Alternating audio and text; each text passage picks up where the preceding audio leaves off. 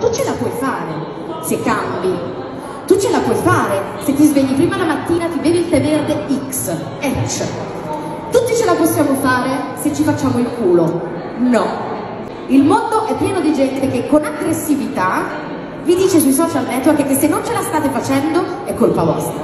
Una persona che vi stimola a fare qualcosa perché altrimenti non arriverete vuole una cosa sola, piacervi, il motivo per il quale la gente sui social network vi dice che dovete fare delle cose per arrivare a e si mette a paragone con voi, con i soldi che guadagna, con quello che ottiene, con i propri successi professionali e vi dice anche tu puoi, vi vuole piacere.